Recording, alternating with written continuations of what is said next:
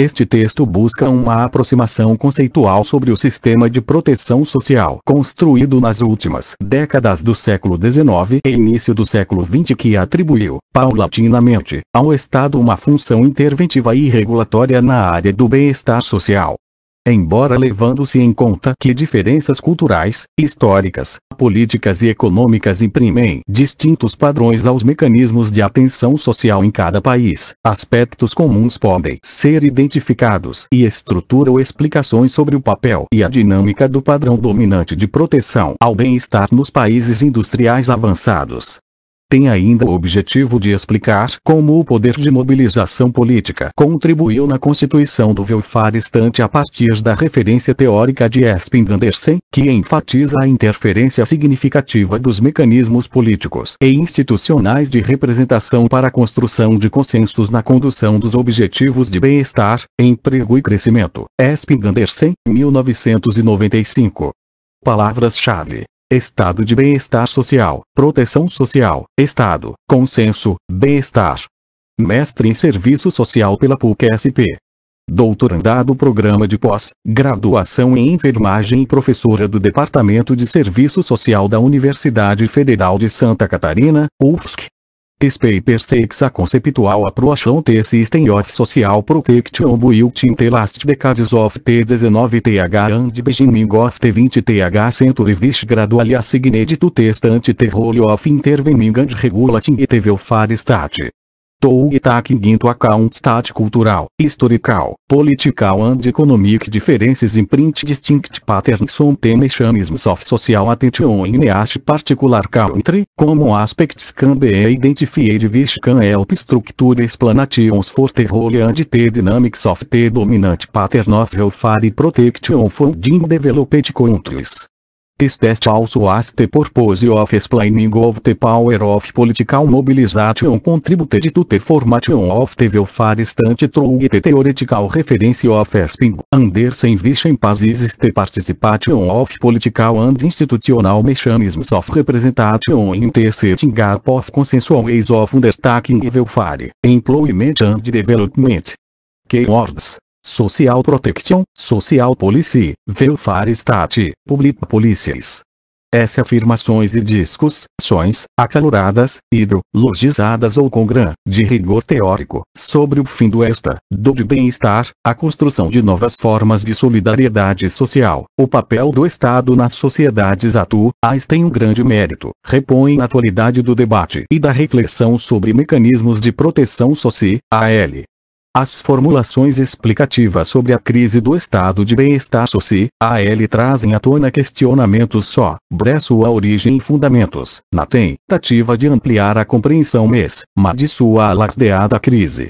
Tal propósito exige, inicialmente, uma aproximação conceitual sobre o sistema de proteção social construído nas últimas décadas do século XIX e início do século XX que atribuiu, paulatinamente, ao Estado uma função interventiva e regulatória na área do bem-estar social embora levando-se em conta que diferenças culturais, históricas, políticas e econômicas imprimem distintos padrões aos mecanismos de atenção social em cada país, aspectos comuns podem ser identificados, e estruturam explicações sobre o papel e a dinâmica do padrão dominante de proteção ao bem-estar nos países industriais avançados 2.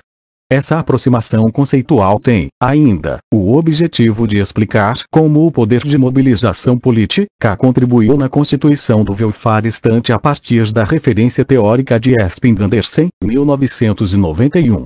O mesmo autor enfatiza, ainda, que os estudos comparados sobre política social e welfare state evidenciam a interferência significativa dos mecanismos políticos e institucionais de representação sobre a construção de consensos políticos na condução dos objetivos de bem-estar, emprego e crescimento. Espingander, 100, 1995.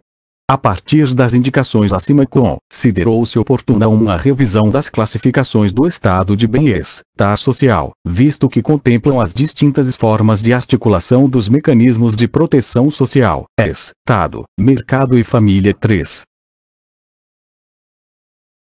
O welfare state, expressão utilizada pelos ingleses para designar o estado de bem-estar é bem mais recente que a expressão estado providência.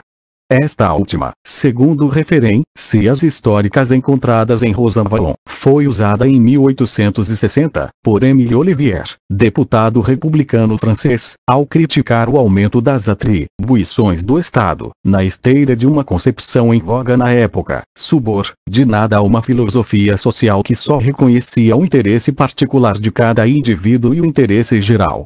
Posteriormente é retomada pelo economista Emile Laurent, que defendia um Estado erigido numa espécie de providência preconizada como a alternativa ao desenvolvimento de associações de previdência, que faria a mediação entre o interesse geral e o particular de cada indivíduo. Rosan, Vallon, 1981, p. 111. A expressão inglesa, welfare state foi criada da década de 40, ainda que a menção a welfare policy, política de bem-estar, ocorra desde o início do século XX. O Plano Beveridge 4 foi o primeiro documento a marcar os princípios do welfare state. Esse documento teve repercussão em vários países, que passaram a organizar a política de segurança social com as características apontadas por Beveridge. É um sistema generaliza, do, que abrange o conjunto da população, seja qual for o seu estatuto de emprego ou o seu rendimento. É um sistema unificado e simples. Uma cotização única abrange o conjunto dos ricos que podem causar privações do rendimento. É um sistema uniforme. As prestações são uniformes seja qual for o rendimento dos interessados. É um sistema centraliza, do, preconiza uma reforma administrativa e a criação de um serviço público único, Rosan Vallon, 1981, p. 115. O termo alemão Wohlfahrtsstaat vem sendo usado desde a década de 1870, juntamente com o termo Sozialstaat, igualmente utilizado para denominar as reformas dos anos 1880, realizadas por Bismarck. Rosan Vallon aponta que foi na Alemanha que surgiram os primeiros elementos da política social que desaguaram no estado de bem-estar moderno, como fruto da força crescente do Partido Social Democrata 5. Esse crescimento, que preocupava sobremaneira o grupo no poder na época, foi alvo de intensa repressão, os ataques violentos ao partido foram compensados com a instauração de uma política social que cobria alguns riscos do trabalho e da própria sobrevivência da classe trabalhadora. Até 1889, os trabalhadores alemães já contavam com seguro doença, proteção contra acidentes de trabalho e seguro velhice e invalidez. As interpretações analíticas a respeito da lógica, da evolução e da dinâmica do welfare estante são inúmeras de distintas orientações teórico-metodológicas, bem como incursionam pelo plano da ética, filosofia, política, economia e direito, ou associam linhas disciplinares. O debate sobre a emergência e consolidação do welfare estante foi sistematizado, nos últimos anos, por autores que utilizaram formas e critérios diversos para tal empreitada 6. Partimos do caminho classificatório elaborado por Martha Argerich, 1995, uma vez que apresenta as variáveis centrais utilizadas nas teorias explicativas existentes informa a Reich que sua intenção foi a de buscar os argumentos explicativos contidos nas construções formuladas, identificando as perspectivas relevantes, de ordem econômica e política, que viabilizaram a categorização, e não uma apreciação sobre as teorias explicativas. Deve-se observar que, em alguns casos, autores são citados tanto nas determinações de ordem econômica como políticas, visto que ambas estão estreitamente articuladas em certas abordagens metodológicas. Para os autores que perfilam essa posição parece haver, ainda que com reconhecidas divergências internas, o relativo consenso que os programas sociais inclusivos, de cunho universalizante, somente foram colocados em marcha devido ao excedente econômico e o grau de desenvolvimento tecnológico obtidos com a industrialização.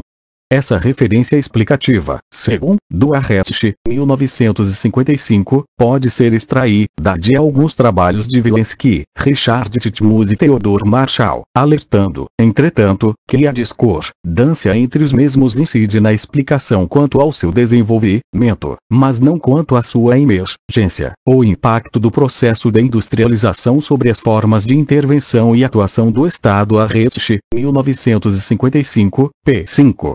Para Vilensky, Arrest, 1955, p. 6, o crescimento econômico e demográfico explicam a emergência generalizada do welfare state justifica sua alegação, a partir da constatação de que os padrões mínimos sob fiança governamental, de renda, nutrição, saúde, habitação e educação, assegurados como direito político, e não como caridade para todos os habitantes do país, estão relacionados aos problemas e possibilidades advindos do processo de inovação industrial 7 problemas no sentido dos efeitos da industrialização sobre a população, estratificação social, processos inovadores de trabalho para segmentos que vêm da área rural, aumento da mão de obra feminina, vem exigindo novos mecanismos de coesão e integração sociais.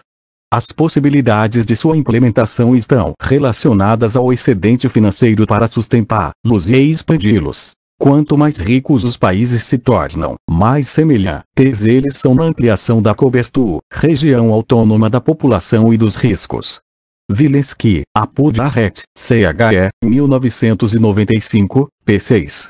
Assim, seriam irrelevantes outros mecanismos na constituição do welfare state. Essa tendência, de forte matiz durkheimiana, atribui a emergência do estado de bem-estar social a necessidades de coesão e integração do tecido social, uma vez que os mecanismos tradicionais, especialmente a família e outras instituições clássicas, perderam suas funções agregadoras. Drive e Aureliano acreditam a expansão da proteção pública às necessidades de minimizar os riscos que as formas contemporâneas de produção e reprodução da força de trabalho exigem. Viana, 1998. Tanto é que definem welfare estante como uma particular forma de regulação social que se expressa pela transformação das relações entre o Estado e a economia, entre o Estado e a sociedade, a um dado momento do desenvolvimento econômico. Tais transformações se manifestam na emergência de sistemas nacionais públicos ou estatalmente regulados de educação, saúde, previdência social, integração e substituição de renda, assistência social e habitação que, a par das políticas de salário e emprego, regulam direta ou indiretamente o volume, as taxas e os comportamentos do emprego e do salário da economia, afetando, portanto, o nível de vida da população trabalhadora, Drai, B. E. Aureliano, Apud Viana, 1998, p. 37 para argumentar e justificar o ponto de vista adotado, sustentam três ordens de variáveis. 1. Um, o aumento do número de trabalhadores dependentes do mercado aumenta, bem como o de aposentados, o de acidentados no trabalho, etc., enquanto o potencial assistencial das redes primárias, família e comunidade, diminui. 2. O caráter cíclico da produção exige que se estabeleça alguma forma de proteção do trabalhador desempregado. As, sim, o excedente de mão de obra, fenômeno típico do capitalismo monopolista, exigiria, de per si, formas de regulação da força de trabalho via gestão estatal, 3. A mobilização operária, devido à urbanização e localização espacial das fábricas e formas de produção fordista, potencializam os riscos de um confronto ideológico, que ameaça a ordem capitalista. Arret, CHE, 1995 Drive, 1988. Alguns autores, ligados ao pensamento marxiano, associam a construção do welfare estante às exigências próprias da dinâmica capitalista e suas crises cíclicas. Em razão desta argumentação, Francisco de Oliveira, 1988, interpreta o welfare estante como um padrão de financiamento público da economia capitalista, em consequência das políticas originalmente anticíclicas de teorização keynesiana. O fundo público financiaria, a partir de regras pactuadas em uma esfera pública, tanto a produção como a reprodução da força de trabalho. Os seguidores dessa linha de interpretação alegam que se tornou necessária a emergência de um novo padrão de regulação social no capitalismo monopolista 8, como consequência de sua própria dinâmica. Tal ocorre devido às seguintes situações seja porque os assalariados, reunidos em torno de interesses coletivos, impuseram a sua participação no mercado de trabalho, seja porque o caráter cíclico da produção tornou necessária uma proteção mínima ao desemprego, ou pela contribuição que um novo modo de regulação oferece em termos de benefícios ou vantagens para o aumento das taxas de acumulação, minorando os efeitos ou reduzindo a instabilidade das crises cíclicas do capital. 9 Corroborando esta tendência da dimensão econômica, determinada pela expansão do modo de produção capitalista contemporâneo, Mota, 2000, ressalta a correlação estreita entre o welfare state e os princípios e valores da sociedade salarial, especialmente os que se erigiram nos marcos do capitalismo monopolista no período de 1940 a 1970. A nova ordem socioeconômica remete, portanto, ao processo de reprodução ampliada do capitalismo mediante um mercado de trabalho e de consumo crescente, tendência ao pleno emprego com forte mobilidade sócio-profissional e salarial, ampliação e diversificação do consumo de bens e serviços, crescentes direitos à segurança e o bem-estar sociais, garantidos por leis e, sobretudo, pactos entre atores sociais e políticos e uma cultura, região autônoma de equidade e justiça, além de uma democratização do processo eleitoral partidário articulador e legitimador das estratégias dirigentes, através do sufrágio universal e da regra da maioria, Abreu, 1997, p. 52. As decorrências deste processo se estendem para os estatutos e garante, as jurídicas, universalização da da proteção social garantida como direito social, exigindo financiamentos com fundos públicos, e regulação econômica, um padrão de financiamento público da economia capitalista, tanto na produção como reprodução social, levando os conflitos originários do trabalho para o interior do Estado, a alteração de princípios e valores surge a partir da inflexão no padrão de acumulação com o escopo de superar uma de suas crises cíclicas.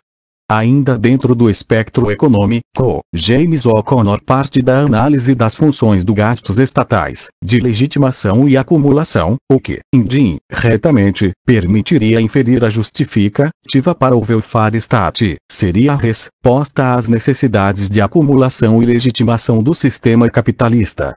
Segundo a interpretação do Acondor, o Estado capitalista tenta desempenhar as suas duas funções básicas que, via de regra, são parado, chais. Ou seja, manter um processo contínuo de acumulação do capital e ao mesmo tempo garantir ou criar condições de harmonia social, favorecem as suas bases de legitimação. Estas duas funções determinam os gastos que o Estado tem, de investimento e consumo social, capital social e o dispêndio com despesas sociais, necessários para manter a legitimação do Estado e a harmonia social exigida para a acumulação do capital. O'Connor privilegia, portanto, a expansão capitalista como a variável central para explicar os gastos sociais, ou seja, a não compatibilização entre desemprego barra população excedente, fruto do capital em sua fase monopolista, poderia corresponder a uma ruptura entre a relação de funcionalidade entre Estado e setores do capital, infere que é o processo derivado do excedente da população e de produtos que obriga a uma interferência estatal para o bem-estar, Arrest, 1995. Klaus Hoff, 1984, caminhando por outra via, ainda que dentro desta mesma tendência, sinaliza que a industrialização e, consequentemente, o desenvolvimento do capitalismo gerou problemas ao destruir formas já estruturadas de vida social e também precisar, de certo modo, convém, ser a população desalojada do campo e que vivia na periferia da cidade, diz que o assalariamento apresentava algumas compensações em relação as outras formas de satisfação de necessidades básicas, como, por exemplo, a segurança contra os riscos através de programas sociais que garantiriam essa proteção e ainda atenderiam parte das suas exigências, as de sobrevivência.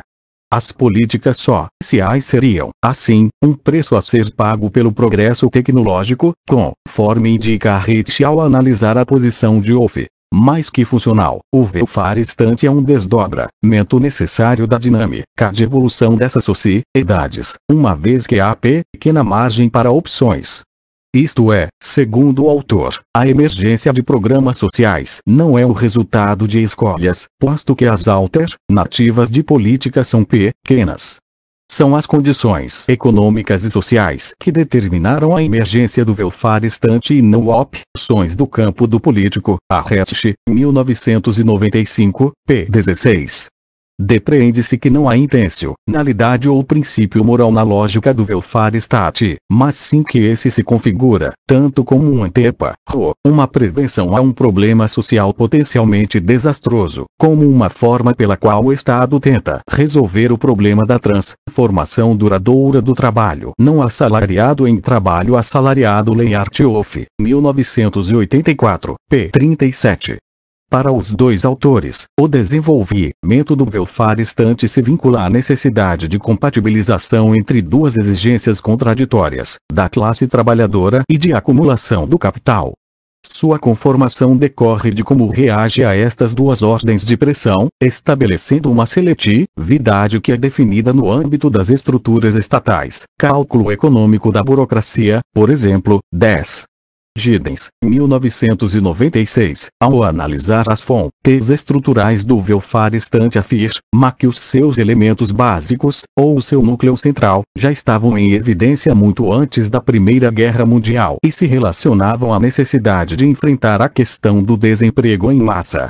Indica como objetivos estruturais do welfare state definir um papel central para o trabalho nas sociedades industriais, como uma forma de viver, promover a solidariedade nacional, sendo os sistemas previdenciários parte de um processo mais global de construção do Estado-nação. Administrar os riscos de uma sociedade criadora de riquezas e orientada para o futuro, em especial, é claro, aqueles riscos que não são subordinados na rela, são trabalho salário, GID, DENS, 1996, p. 156 não descarta, em sua interpretação, a influência das teorias keynesianas, com seu potencial de controle sobre os processos econômicos e sociais, para a consolidação efetiva do welfare state. Há entre os estudiosos, ressalvam-se algumas divergências, o reconhecimento de que, com as mudanças operadas no processo de acumulação a partir dos anos 30, redefine-se o papel do Estado, criando-se as bases econômicas, políticas e ideológicas para o provimento público do bem-estar. A difusão do Fordismo como modelo de organização industrial e a imensa aceitação das propostas keynesianas foram elementos essenciais para a construção do conceito de Seguridade Social. Viana, 1998, p. 17. É a constatação que o surgimento e consolidação do welfare state não podem ser explicados sem se levar em conta o processo de expansão do capitalismo contemporâneo. Na esteira do clássico trabalho de Theodore Marshall, 1967, A Construção da Cidadania Social, fenômeno típico do século XX, seria como um dos fundamentos nucleares do welfare estante a participação na riqueza socialmente produzida, aliada ao reconhecimento de uma igualdade intrínseca entre as pessoas, razão ético-política do Estado, nação moderno, seriam as bases fundantes dos atuais welfare states. De acordo com Barbalet, 1989, a cidadania tem, primordialmente, um estatuto político mas é, também, uma questão de capacidades não políticas dos cidadãos, derivadas dos recursos sociais que dominam e têm acesso. Assim, um sistema político com igualdade de cidadania é na verdade menos do que igualitário se faz parte de uma sociedade dividida por condições de desigualdade Barbalet, 1989, p. 11. A cidadania em seu sentido moderno, para Marshall, 1967, 11, conteria um conjunto de direitos 12 de natureza de inversa, ou civis, políticos e sociais, Os direitos civis seriam os referentes e necessários à liberdade individual, tais como o direito de ir e vir, de pensar livremente, de expressar uma fé, de possuir uma propriedade, de estabelecer contratos válidos e especialmente o direito à justiça. Esse último garante, ao indivíduo, os demais direitos, independente de quaisquer requisitos ou critérios. Os direitos políticos estão relacionados a escolhas de projetos e propostas de sociedade, através do exercício do voto, votar e ser votado, isto é, participar no poder político de uma das duas formas indicadas. A construção do direito político se inicia no século XIX e se consolida, efetivamente, com o aparecimento de uma classe social capaz e preparada para lutar por sua garantia na estrutura social. O intenso processo de urbanização daquela época favoreceu o surgimento dos partidos de massa, que tensionaram sobremaneira a ampliação dos direitos políticos, estendendo-os, paulatinamente, para os trabalhadores, mulheres e mais recentemente para os analfabetos. Os direitos sociais, típicos do século XX, incluem o direito a um mínimo de bem-estar econômico e de segurança, ao direito de participar, por completo, na herança social e levar a vida de um ser civilizado de acordo com os padrões que se estabelecem na sociedade. Marshall, 1967, p. 1113. Segundo a Reich, 1995, Rosan Vallon foi o autor que mais se apropriou das concepções de Marshall ao explicar a crise do estado de bem-estar e, ao explicar a crise, contribuiu para uma das interpretações sobre sua origem e desenvolvimento. Ao analisar a dinâmica do Estado-providência, parte do suposto que é impossível compreendi-lo sem um retrospecto histórico que remonta à construção do Estado moderno. Alerta que as explicações que o situam em relação ao movimento do capitalismo e socialismo nos séculos 19 e 20 são empobrecedoras, apenas deslocando a sua dinâmica para o capitalismo, e propõe que a chave para a compreensão da emergência do welfare estante deve ser buscada no movimento de constituição do Esta, do nação moderno. Para Rosan Vallon, o atual estado de bem-estar é um aprofundamento e uma extensão do Estado Protetor Clássico 1981, p. 18, que se instituiu entre os séculos XV e XVIII, 13, e que pode ser definido como Estado protetor, protetor das prerrogativas civis individuais, vida e liberdade, através de um pacto social estabelecido entre os homens e entre estes e o poder monárquico. O acordo pactuado garantiria os direitos civis que levariam à produção da segurança e à redução da incerteza, condições essenciais para a manutenção da ordem necessária ao desenvolvimento dos Estados-nações. O Estado moderno, como forma política específica, representa um poder comum que protege as pessoas dos ataques dos estranhos e de seus semelhantes. O contrato social, cujo arca, bolso liberal se fundamenta nas obras de Locke Hobbes e o democrata, burguês em Rousseau, conforma, as, sim, o Estado-nação moderno, que se consolida quando cumpre as funções de proteger os seus integrantes, especialmente garantindo o seu direito à vida e à liberdade, de ir e vir, de estabelecer contratos, de ter e negociar propriedades 14. A afirmação da necessidade do contrato social surgiu como demandas da burguesia em ascensão, no momento em que essa classe representava todos os que não eram aristocratas nem membros do clero, ou seja, todos os que constituíam o que os franceses chamavam Terceiro Estado Coutinho, 1997, p. 150.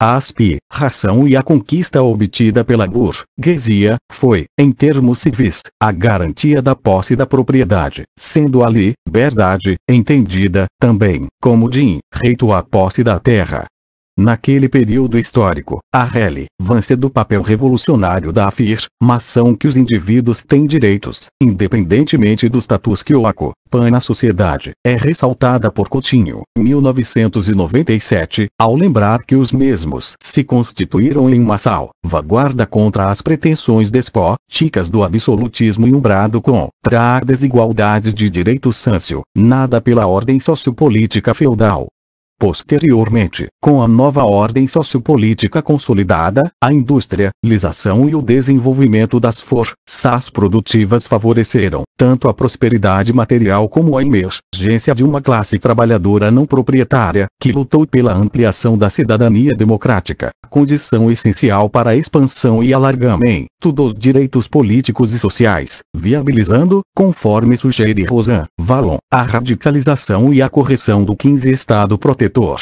Dessa forma, se o verdadeiro cidadão só pode ser proprietário, é necessário tornar quase proprietários todos os cidadãos que não o sejam, isto é, instituir mecanismos sociais que lhes forneçam um equivalente de segurança que a sociedade garante. Rosan, Valon, 1981, p. 20.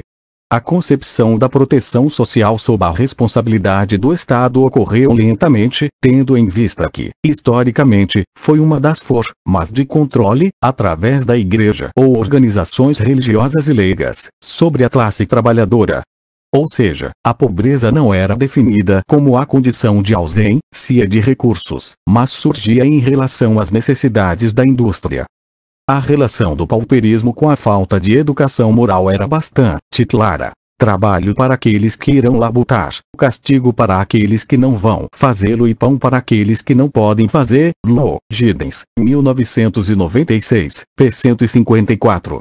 A pobreza e a miséria não eram enfocadas como questão social, como decorrência de uma construção social injusta, mas como frouxidão no real desígnio divino, cabendo, portanto, a igreja ou a sociedade abrigar os pobres e desválidos.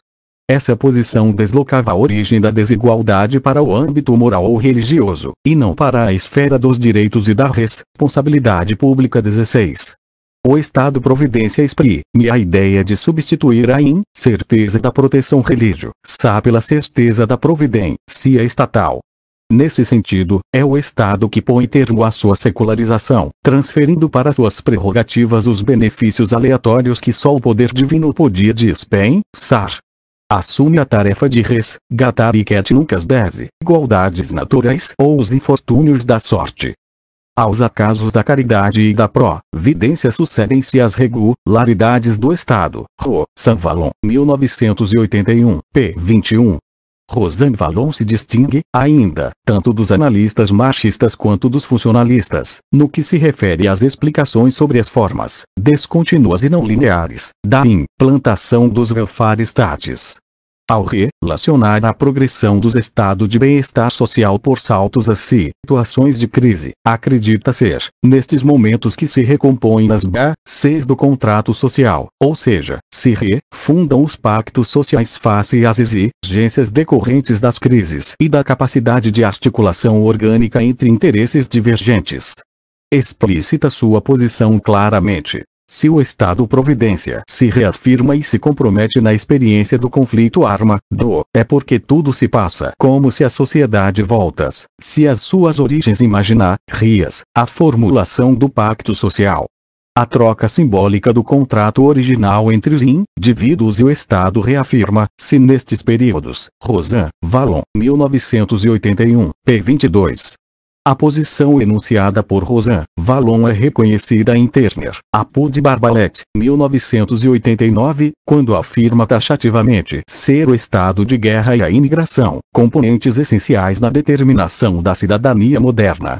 Esta ideia vem sendo construída ou justificada a partir de três hipóteses. Primeira, para empreender a guerra há necessidade do Estado obter o consentimento da população, o que pode ser bar, ganhado com o alargamento da cidadania. Segunda, a guerra promove mudanças sociais com a mobilização das massas e intervenção do Estado, surgindo uma nova apreciação da responsabilidade coletiva e compartilhada, e uma participação significativa na comunidade nacional pode ser conseguida através da expansão da cidadania, especial da cidadania social. Terceira, o estado de guerra promove o pleno emprego e mercados de trabalho rarefeitos, com amplas possibilidades de incorporação de demandas da classe trabalhadora e, consequentemente, com ampliação da cidadania. Barba, Let, 1989.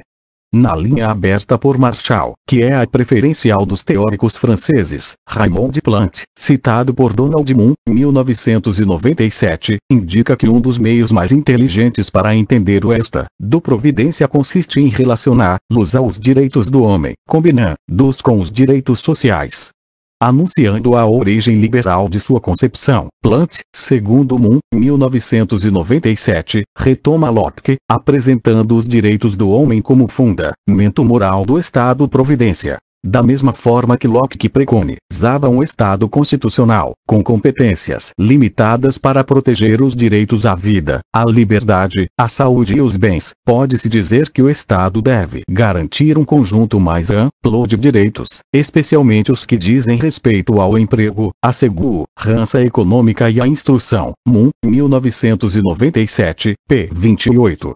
No mesmo eixo de raciocínio, Moon, 1997, p. 29, cita também Dworkin, que define o Estado-providência como a parte econômica do liberalismo funda, do sobre a igualdade. Para Dworkin, a Pudimum, 1997, p. 29 A igualdade supõe que os meios consagrados à existência das pessoas consideradas individualmente sejam os mesmos e que se deve distinguir a igualdade de proteção, mesmo grau de bem-estar para todos, do que se poderia chamar de igualdade instantânea, ou seja o acesso aos mesmos bens a todo tempo. Segundo sua posição, a igualdade de recursos implica que cada um pague o preço real da vida que quer levar. Outra referência explicativa para o surgimento do estado de bem-estar social, de ordem política, é a que aponta como seu fundamento a ideia da solidariedade social, de um solidarismo protetor que transfere parte da responsabilidade individual para a esfera social. O direito social e a solidariedade seriam, assim, os princípios reguladores da vida social. A gênese do Estado, providência não se explica, portanto, por movimentos políticos conscientes. É um movimento lógico da ampliação da democracia, que tem sua expressão no plano dos referenciais políticos de uma só sociedade a Reich, 1995, p. 22. A existência de uma cidadania social, construída sob o conceito de nação, esbarra em aspectos referentes a uma integração política mais ou menos densa, expressa na metáfora usada por Viana, 1998, p. 28, estar no mesmo barco, o que implica a existência de uma esfera pública inclusiva, que se constituiu em um processo anterior à própria existência do welfare state. Em outras palavras, afirma que é necessário o reconhecimento de uma perspectiva política positiva sobre a medida de igualdade representada pelo pertencimento à comunidade. Estar no mesmo barco, a noção compartilhada por todos que embasa a solidariedade e o welfare estante social democrático, requer que todos estejam realmente e se reconheçam como estando no mesmo barco Viana, 1998, p. 28. Argumenta a autora que há, nessa proposição, uma ideia de justiça distributiva vinculada diretamente a um mundo concreto de pessoas ou grupo de pessoas que divide, troca e partilha bens sociais. Na mesma direção aponta Figueiredo, 1997, p. 95. No que diz respeito a segurança e welfare, o pertencimento assume uma importância definidora dessa ESF, região autônoma, a primeira coisa que os membros de uma comunidade devem aos seus pares é a provisão comunitária de bem-estar e segurança. Toda comunidade política é, portanto, um welfare state, onde são realizadas provisões gerais, por exemplo, abastecimento de alimentos, e provisões particulares, alimentos para viúvas e órfãos, no sentido de confirmar a relevância da argumentação, Viana, 1998, repõe, ainda, a posição de Wolff sobre bem público, estatuto fundamental para a consolidação da cidadania, visto que significa a ampliação da medida de igualdade que coloca todos como pertencendo a um mesmo grupo tendo, portanto, os mesmos direitos. Importa ressaltar que subjacente à consolida, são dos direitos, inicialmente os civis e posteriormente os demais 17, se supõe a emergência do Estado como ente civilizador universal, capaz de assegurar uma identidade inclusiva para a nação. Esta identidade inclusiva não é a sua qualidade de benfeitor, mas a de guardião da esfera pública, instância pública, separada do mundo privado, que garante a primazia de regras e normas universais. Ou seja, a sua efetiva capacidade para garantir os direitos civis e políticos, liberdade e participação, elementos da cidadania para Marshall, ou seja, o que OF, 1989, considera como o Estado de Direito e a voz ativa nacional 18 consoante com a argumentação acima, o maior ou menor fortalecimento da esfera pública é a única referência possível para o nos inclusivo numa sociedade de classes Viana, 1998, p. 28, desempenhando um papel fundamental na construção do welfare estante e explicando as suas peculiaridades. As distintas maneiras de incorporação dos atores no cenário político definem como se expressam os interesses dos mesmos na esfera pública ou bem se expressam em partidos políticos, forma de expressão dos interesses desiguais diante de uma instância que obriga a todos igualmente, ou os mais fortes se incrustam no aparelho do Estado e inviabilizam a formação de uma dimensão pública. Nesse último caso, o Estado não se torna o guardião de uma esfera pública porque essa inexiste somente pode, quando muito, tornar-se o Estado benfeitor, que, entretanto, não garante direitos, Segundo Viana, 1998, p. 29. A constituição de uma esfera pública inclusiva, legítima, dora de um conjunto de obrigações e direitos que embora formais são cruciais para fundar o mínimo de solidariedade social, não assegura, por si só, evidentemente a equidade de Diversamente do que pensava Rousseau, são as partes organizadas do corpo social, partidos políticos e sindicatos, sobretudo, que podem exercer um papel ativo neste sentido. Ambas as dimensões, o espaço comum e a representação das diferenças, estão longe de inibir os conflitos inerentes às sociedades de classe C. Mas permitem, justamente, que sejam encaminhadas de forma menos perversa para os de baixo, Dentro da esfera política, Esping Andersen, 1991, p. 111, observa que os dois tipos de abordagem que estruturam as explicações do welfare state, as estruturalistas e as que partem das instituições e atores políticos, não conferem relevância a três fatos que seriam importantes. A natureza da mobilização de classe, principalmente classe trabalhadora, as estruturas de coalizão política de classe, CES, e o legado histórico da institucionalização do regime. Partindo desses três fatores, quais os graus de interação entre os mesmos que levam à instauração de níveis diferenciados de proteção social?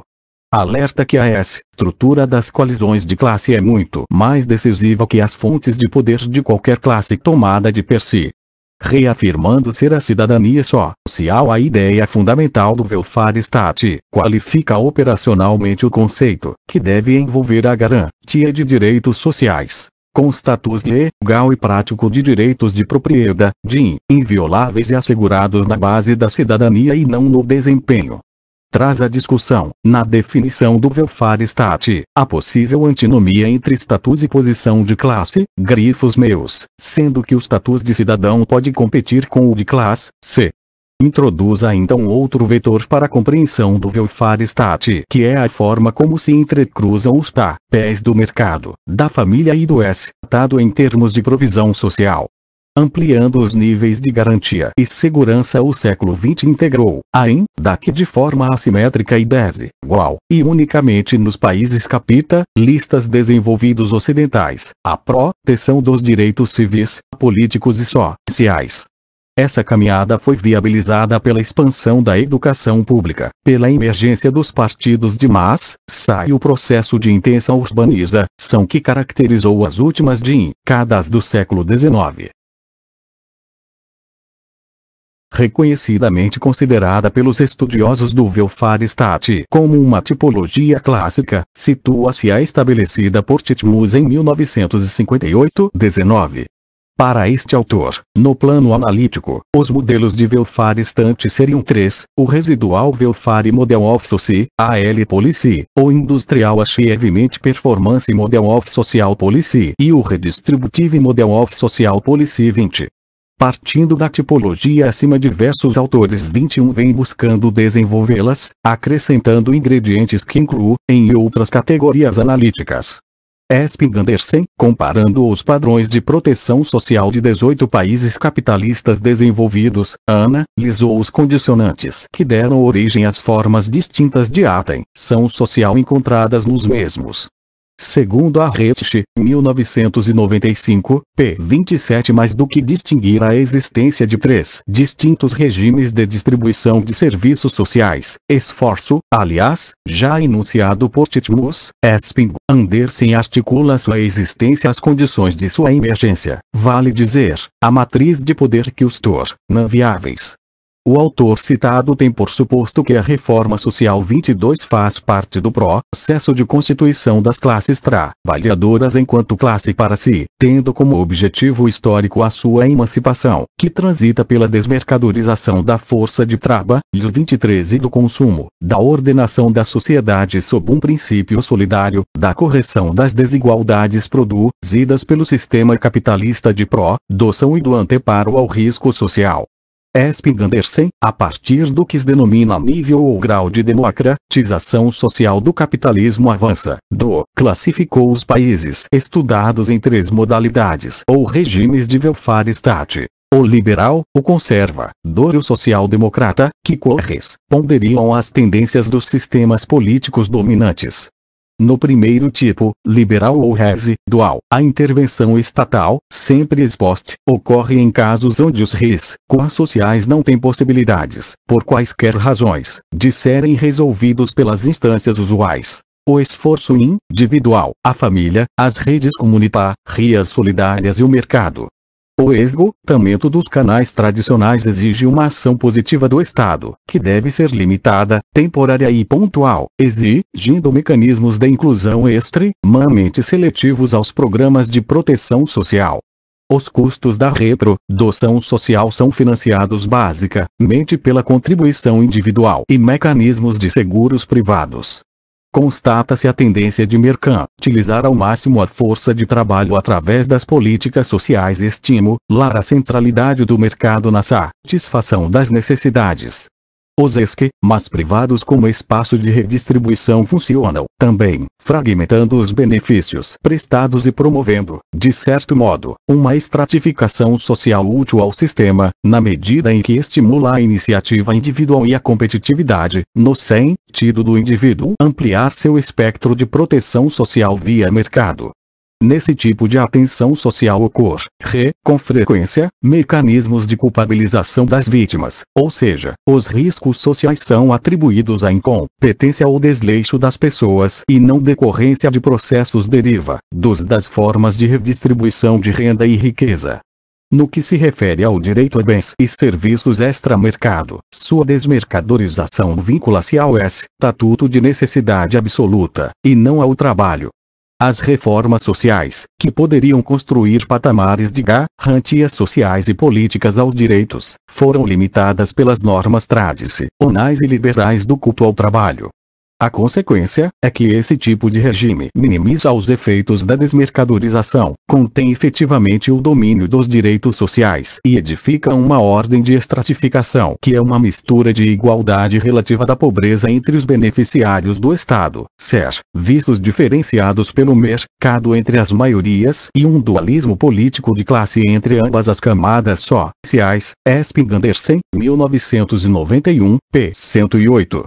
O modelo meritocrático ou conservador contém, em seu núcleo duro, o suposto de que a proteção deve ser responsabilidade de cada um pelo seu mérito, pela sua capacidade produtiva, enfim, pela sua performance individual. A intervenção estatal é parcial, mas no sentido de organizar a proteção e não financiá-la ou subsidiá-la. Este modelo também não pode assegurar automaticamente uma desmercado-rização substancial, pois depende muito da forma de elegibilidade e das leis que regem os benefícios. Os benefícios dependem quase inteiramente de contribuições e, assim, de trabalho e emprego. Espingander, 100, 1991, p. 103. Assim, não é apenas a presença do direito social que garante a desmercadorização, mas normaliza ações e pré-condições que sinalizam para a cobertura dos programas de proteção e bem-estar social. Segundo Viana, 1998, p24, este modelo se caracteriza por vincular estreitamente a ação protetora do Estado ao desempenho dos grupos protegidos quem merece, ou seja, quem contribui para a riqueza nacional e barra ou consegue inserção no cenário social legítimo, tem direitos a benefícios, diferenciados conforme o trabalho, o status ocupacional, a capacidade de pressão, etc. Este padrão se caracteriza por ser hierarquizante segmentador, deitaria raízes no conjunto de influências conservadoras, tais como estatismo, reformismo paternalista, catolicismo, corporativismo e hierarquizante. Corresponde, em termos de proteção, ao que Vanderlei Guilherme dos Santos, 1979, designa como cidadania regulada, onde a regulação é pelo ingresso no mercado formal de trabalho, assemelha-se ao modelo bismarckiano de proteção social, protegendo a força de trabalho, que retribui com lealdade e subordinação ao Estado. Esping Andersen, 1991. A ênfase na diferença de categorias profissionais teria, como objetivo político, consolidar divisões no interior da classe trabalhadora, Diz, sa forma, seu desenho dificulta, quando não impede, a organização em torno de interesses comuns e coletivos, de vontades universais. Este modelo pode ser encontrado, segundo Esping Andersen, 1991, em países onde os movimentos operários tiveram forte vinculação com a igreja, com sociedades estratificadas e segmentadas, o mesmo autor aventa a hipótese que a forte influência da Igreja, no regime corporativo, influenciou a pré-ocupação com a preservação da FA, milha tradicional, com o estímulo à maternidade e o desestímulo a quais, quer iniciativas que pudessem ameaçar a convivência familiar, como creches e serviços de proteção a ido, sós e crianças. No que se refere aos direitos sociais, contrariamente ao tipo anterior de welfare state, o culto a mercado, RIA nunca foi marcante mas a relevância da ação é baseada ou fundada na preservação das distinções de status, sendo mais de cunho político. Este corporativismo estava por baixo de um edifício estatal inteiramente pronto a substituir o mercado enquanto provedor de benefícios sociais. Por isso a previdência privada e os benefícios ocupacionais extras desempenham realmente um papel secundário. De outra parte, a ênfase estatal na manutenção das diferenças de status significa que seu impacto em termos de redistribuição é desprezível. Esping Andersen, 1991, p. 109. O terceiro tipo corresponde ao social-democrata 24 e, em países onde se consolidou as políticas de proteção social são inclusivas, e o bem-estar é visto como estrutural a essas sociedades contemporâneas. Draibe, 1990. As políticas sociais, nesses casos, têm um cunho universalista e abrangente e incluem áreas distintas, tanto na esfera econômica como social, tais como educação, saúde, habitação, trabalho, previdência, etc. Os serviços e benefícios são compreendidos e garantidos como direitos sociais, como forma da sociedade, sólida, realmente organizada, resguardar um patamar de igualdade para todos, ou partilhar os riscos, conforme aponta Giddens, 1996. Aparece, segundo Spingander, 100, 1991, em países onde a classe trabalhadora construiu interesses coletivos com articulações suficientes para torná-los visíveis, em uma dimensão pública. Especifica ainda que, quando os direitos sociais adquirem status legal e prático de direitos de propriedade, quando são invioláveis, e quando são assegurados com base na cidadania em vez de terem base no desempenho, implicam uma desmercadorização do status dos indivíduos vis. Aviso Mercado, 1991, p. 101. Os benefícios e serviços extra, mercados destinam-se às novas classes médias, sendo esse tipo de proteção social denominado, por Esping Andersen, de regime social-democrata, uma vez que a força política impulsionadora das reformas que levaram a cabo sua implantação foi a social-democracia. 25. Em vez que tolerar um dualismo entre Estado e mercado, entre a classe trabalhadora e a classe média, os social-democratas busca ramo welfaristante que promove-se a igualdade com os melhores padrões de qualidade, e não uma igualdade das necessidades mínimas, como se procurou realizar em toda parte. Isso implicava, em primeiro lugar, que os serviços e benefícios fossem elevados a níveis compatíveis até mesmo com o gasto mais refinado das novas classes médias. E, em segundo lugar, que a igualdade fosse concedida garantindo-se aos trabalhadores plena participação na qualidade dos direitos desfrutados pelos mais ricos. Esping Andersen, 1991, p. 109. Existe a dissociação entre satisfação de necessidades, mercado e mérito, onde o direito social é garantido de per si, não havendo contrapartida financeira direta e distinta para a cobertura dos benefícios.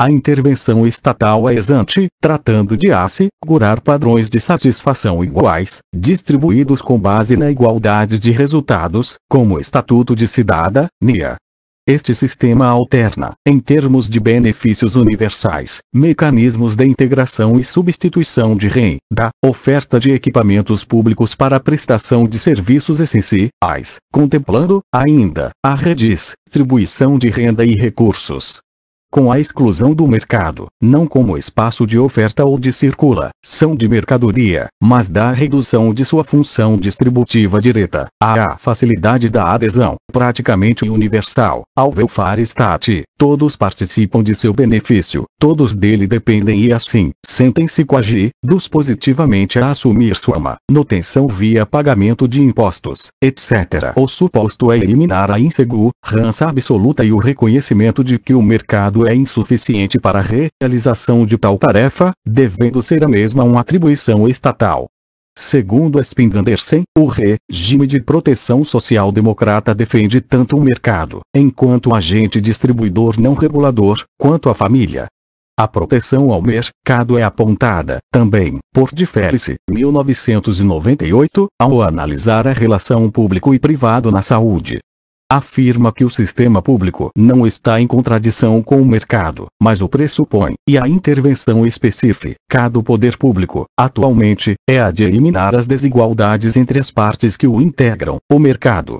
Ao contrário do modelo corporativista subsidiador, o princípio aqui não é esperar até que a capacidade de ajuda da família se exaura, mas sim de socializar antecipadamente os custos da família, Neste sentido o modelo é uma fusão peculiar de liberalismo e socialismo.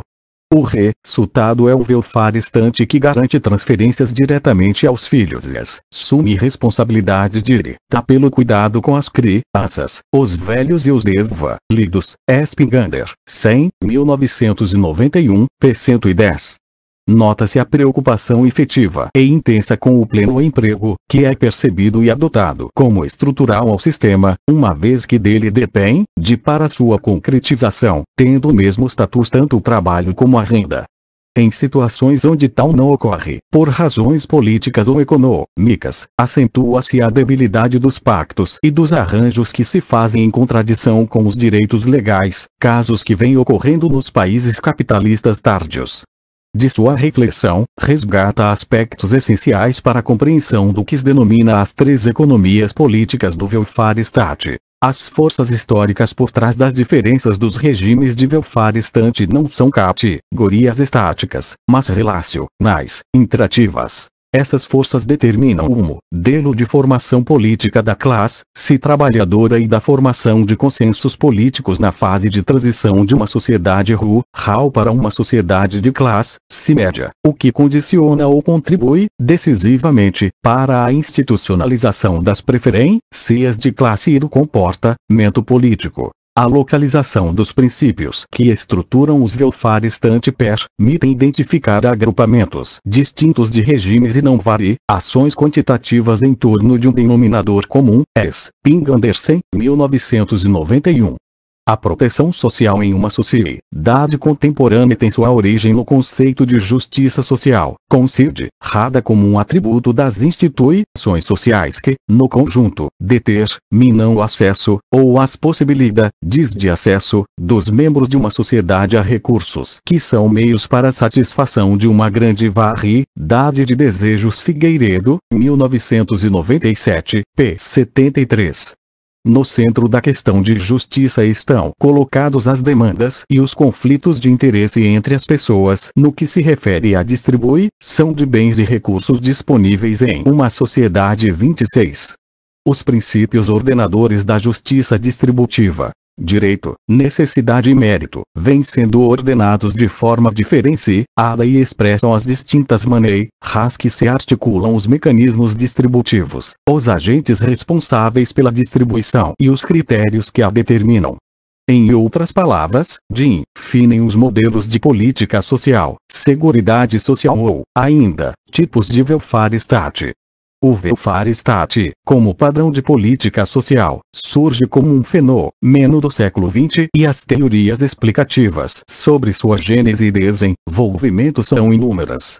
Há um consenso, entretanto, que se constitui como um elemento estrutural ao capitalismo contemporâneo, sendo que significou mais do que um incremento nas políticas sociais representou um esforço de reconstrução econômica, moral e política do mundo industrial desenvolvido e um anteparo à possível ampliação de propostas comunistas. Economicamente significou o abandono da ortodoxia do mercado. Moralmente significou a defesa das ideias de justiça social, solidariedade e universalismo politicamente foi parte de um projeto de construção nacional da democracia liberal em reação às ditaduras fascista e bolchevista. Esping Andersen, 1994.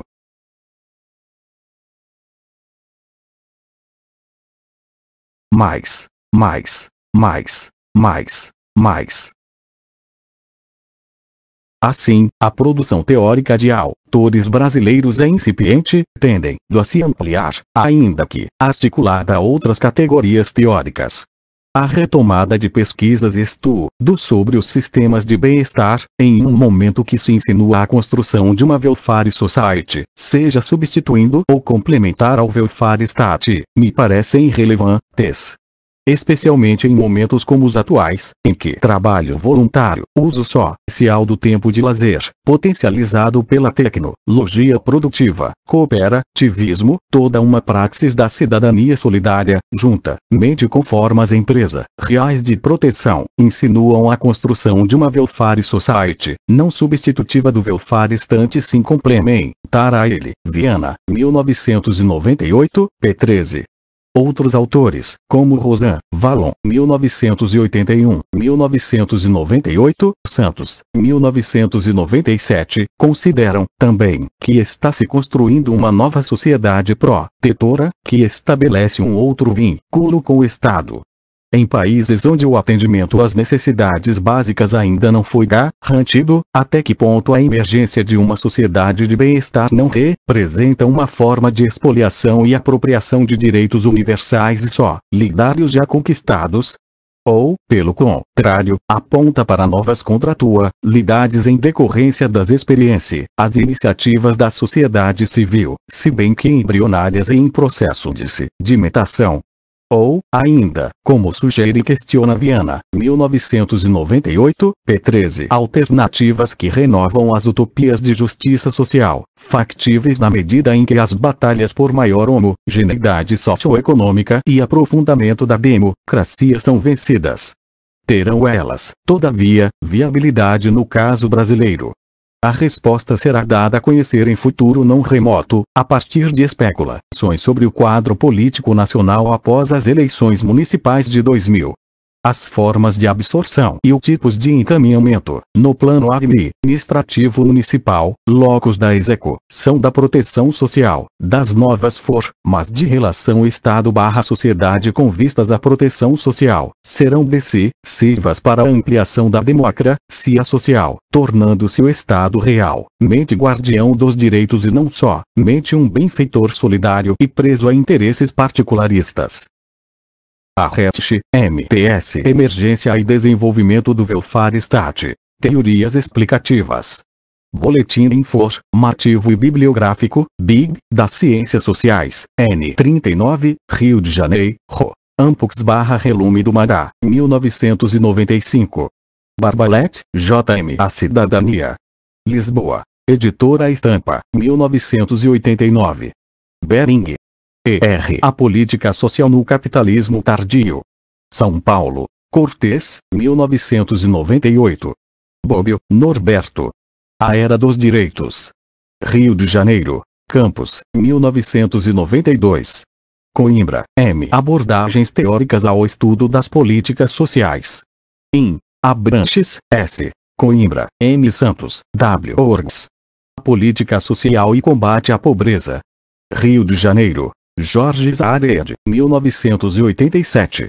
Coutinho, CN Representação de Interesses, Formulação de Políticas e Hegemonia. In. Teixeira, Sônia Fluri. Org. Reforma Sanitária. Em busca de uma teoria. São Paulo. Cortês barra Abrasco, 1989. Notas sobre Cidadania em Modernidade. Praia Vermelha, V1, N1, Rio de Janeiro. UFRJ, 1997. DRAE-B, SM O Padrão Brasileiro de Proteção Social. Desafios à Democratização. Análise de Conjuntura, 8, 2, Fevereiro e Partes. Curitiba, 1986. O Velfar Estante no Brasil. Características e perspectivas. In. Anais do Encontro Anual da Ampux. Águas de São Pedro. Ampux, 1988. As políticas sociais brasileiras. Diagnósticos e perspectivas. In. IPA. Para a década de 90. Prioridades e perspectivas de políticas públicas. Brasília. IPA 1990. Brasil. O Sistema de Proteção Social e suas transformações recentes. In. Anais do Seminário Regional para Reformas de Políticas Públicas. Santiago. CEPAL, 1992. Difere-se, F.G. E o Welfare Stat. Questione controverse e uma hipótese interpretativa. Qualitarquita, Revista del Welfare Futuro, ano 4, N. 16. Roma. Editriz Liberta, 1998. Esping Andersen, G. As Três Economias Políticas do Welfare Stat. Lua Nova, N. 24, São Paulo. SEDEC, 1991. O futuro do Welfare Stat na nova ordem mundial. Lua Nova, N35, São Paulo. SEDEC, 1995. Figueiredo, AC Princípios de Justiça e Avaliação de Políticas. Lua Nova, São Paulo. SEDEC, 1997. Fleury, S. Estados sem Cidadãos. Rio de Janeiro. Fiocruz, 1994. Grutti, L. Tudo começou com Maquiavel. As concepções de Estado em Marx, Engels, Lenin e Gramsci. Porto Alegre. LIPM, 1980. Ockman, R. La Protection Sociale. Príncipes, Modelos Novelux Defs. Problemas Politiques et Sociaux, N. 793, Paris. La Documentation Française, 1997. Lenhart, G. Yoff, C. Teorias do Estado e Política Social. Tentativas de explicação político-sociológica para as funções e os processos inovadores da política social. In. Off, C. Problemas estruturais do Estado capitalista. Rio de Janeiro. Tempo Brasileiro, 1984. Marshall, T. Cidadania, Classe Social e Status. Rio de Janeiro. ZAR, 1967. Menezes, MTCG Em Busca da Teoria. Políticas de Assistência Pública. São Paulo. Cortes, 1993.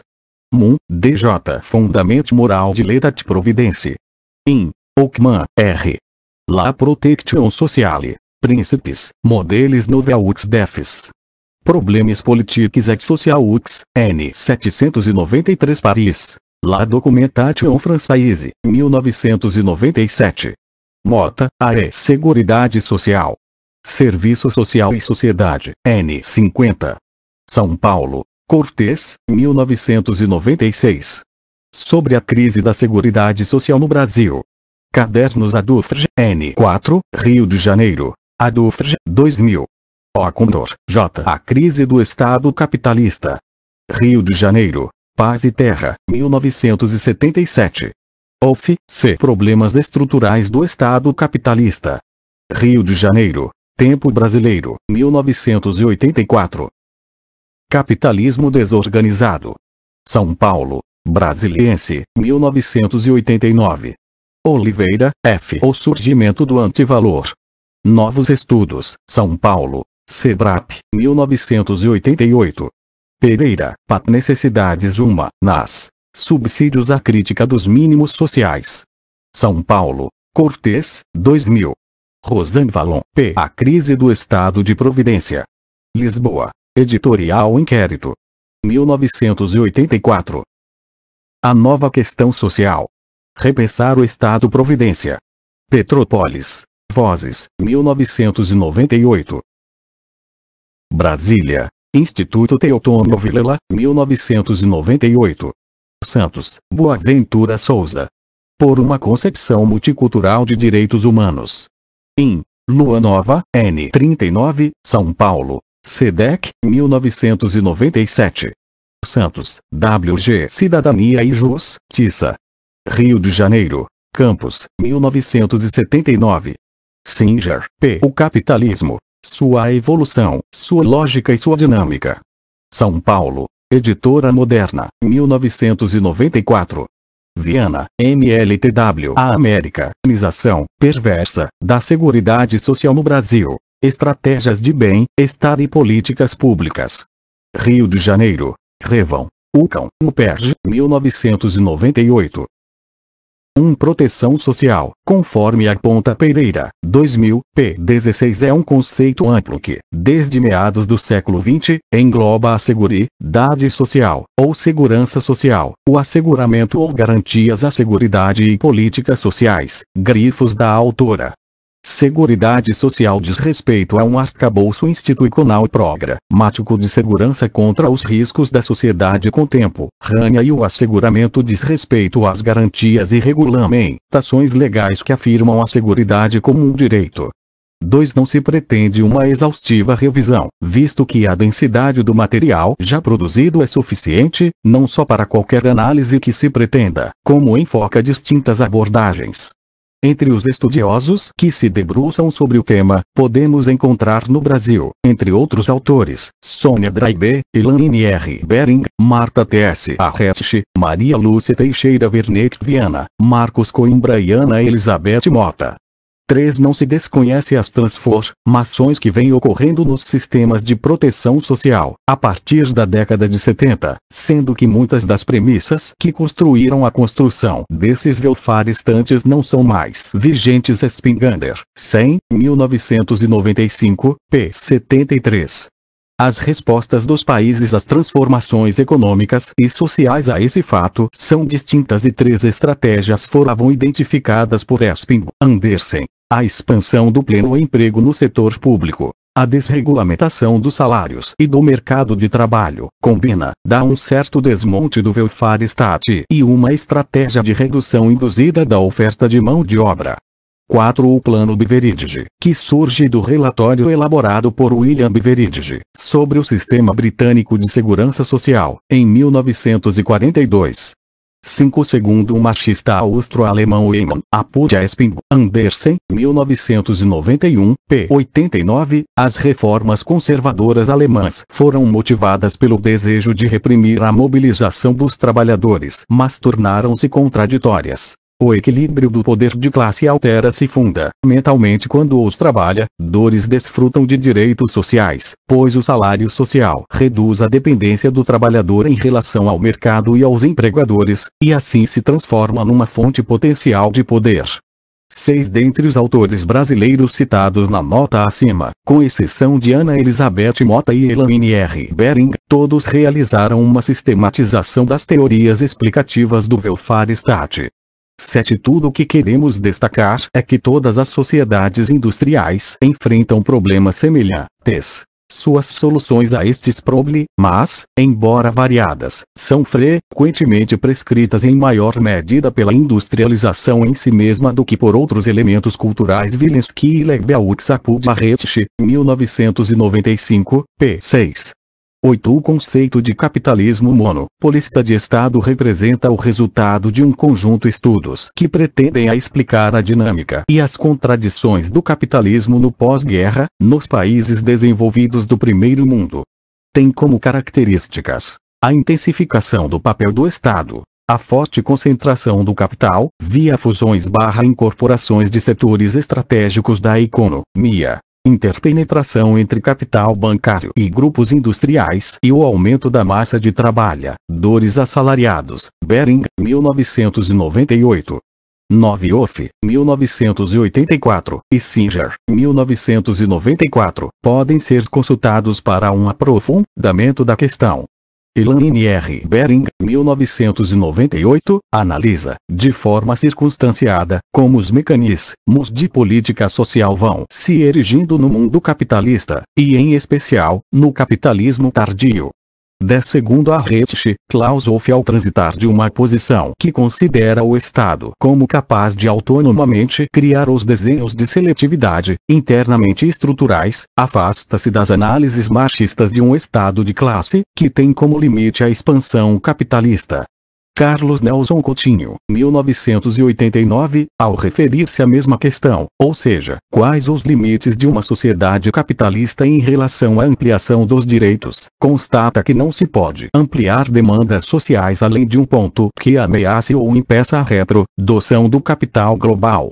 11 Coimbra aponta algumas fragilidades na concepção de cidadania de Marshall, devido à sua linearidade e à ausência de contextualização histórica e os processos subjacentes à afirmação de cada um dos direitos. Coimbra, 1987, p. 82. 12 Off, Apud Viana, 1998, p. 28, retoma o que considera significativo na teoria de Marshall, para a compreensão da construção dos direitos, especialmente os sociais, que é o reconhecimento da importância de uma esfera pública para sua legalização.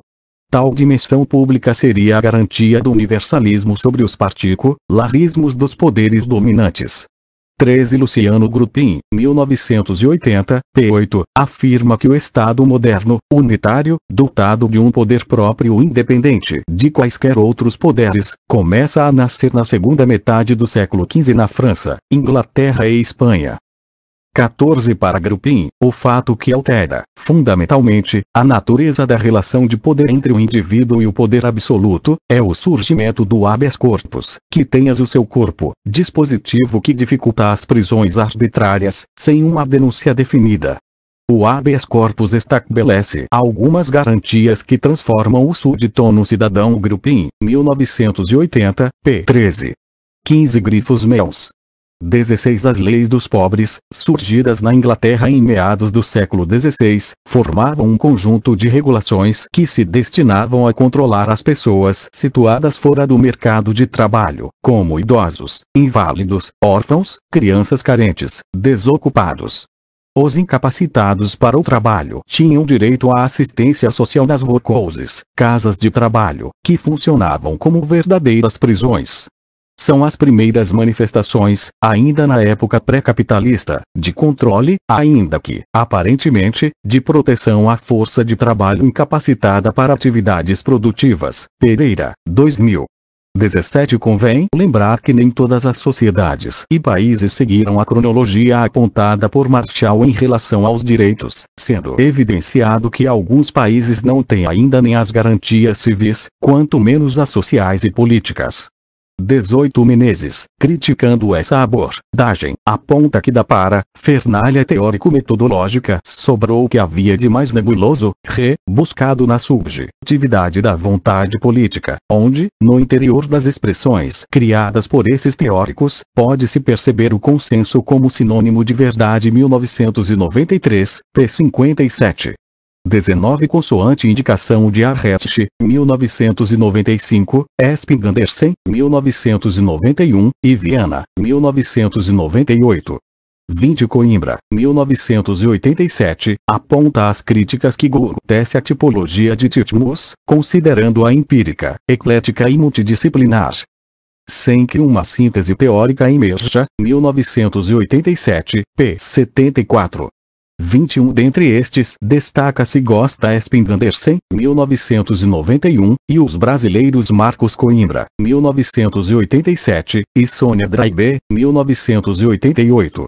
Ascoli foi outro autor que, partindo das modalidades indicadas por Titmus, introduziu alguns acréscimos, como, por exemplo, subdividindo o modelo mérito-crático em dois, particularista e corporativo, 22 Spingandersen considera a reforma social as alterações ocorridas entre as décadas de 1940 a 1970, nos países capitalistas avançados, abrangendo as dimensões políticas, econômicas, éticas, jurídicas e administrativas.